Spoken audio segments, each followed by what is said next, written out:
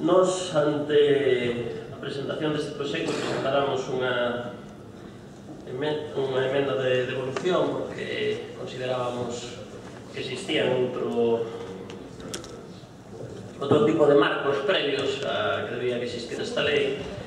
Sen embargo retiráramela por considerar que debido ás xuntanzas que tuvemos con algunhas das asociacións de taxistas de que era necesario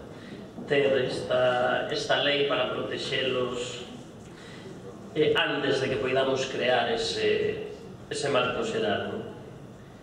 Despois de, de tramitar a lei, para nós ficaron tres aspectos fora que desde o noso punto de vista podían protexer dunha forma moito máis importante o colectivo do taxi eh, do que son as empresas que se dedican ao aluguer de vehículos con, con conductor. En primeiro lugar, eh, na lei que se nos presentaba existía exigencia para este tipo de vehículo, de aluguer de vehículos con conductor de ter eh, garaxes para para este tipo de vehículos, cousa que, debido a unhas segmentas do Partido Popular, foi retirado e neste momento non existe exigencia de, de garaxes para este tipo de, de vehículos que para nós é un retroceso para o sector do,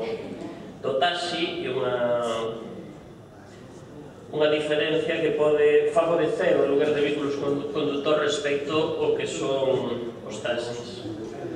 En segundo lugar, eh, nos presentábamos unha emenda onde exixíamos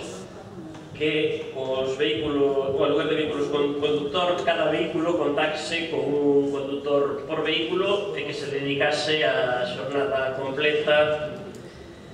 a estas, a estas funcións tal como veñen realizando os taxistas e eh, a exixencia que teñen os taxistas. Non? Por lo tanto, eh, nos neste sentido considerábamos que debían exixirse o mesmo tanto para os taxistas como para os conductores de vehículos con conductor e de aluguer eh, que o seu rexeitamento pois é tamén unha iba importante para nós.